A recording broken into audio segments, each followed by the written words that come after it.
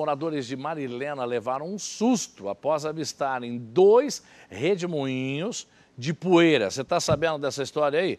O fenômeno natural foi registrado em vídeo por algumas pessoas que passavam pelo local, na zona rural do município. Segundo informações, os redemoinhos não deixaram estragos na zona rural de Marilena. Marilena é região de Porto Rico, de Loanda ali e tal, mas chamou atenção. Pode até tirar essa faixa aí para ficar mais legal aí, ó. Isso aí, a gente tem uma...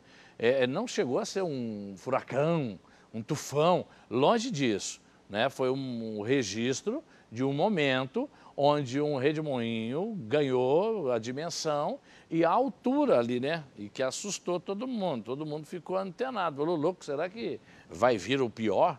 E hoje que esse negócio de registrar tudo, né? Hoje o celular registra tudo mesmo, é.